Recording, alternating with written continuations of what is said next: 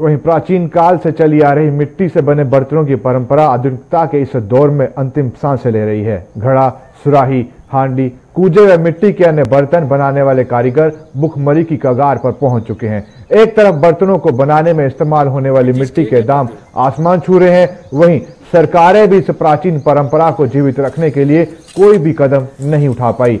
आज के दौर में रेफ्रिजरेटर यानी फ्रिज एसी और कूलर के दौर में मिट्टी से बने बर्तनों की मांग भी ना के बराबर है अब चंद लोग ही हैं जो अपने पुरखों के इस पारंपरिक कार्य को जीवित रखने की कोशिश में लगे हैं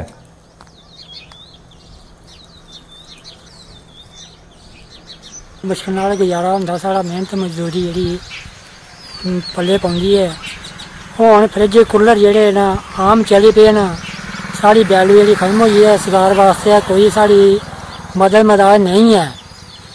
एह् बास्तै कुछ ना कुछ मदद की जा साढ़ी। बाकी मिट्टी आह्ला मिट्टी आह्ला बड़ी प्रॉब्लम ऐ, असें कि यार मिट्टी नाग बनी आह्नने आं ओह् बी चंद किश जिमींदार असें दिंदे गै निं हैन। तरले करी, करियै कदें दो ज्हार रपेआ ट्राली मंगते न, कदें ढाई ज्हार मंगदे न, कदें खाली औने पौंदा असें। एह् वास्तै कुछ ना कुछ सरकार साढ़े बारे कोई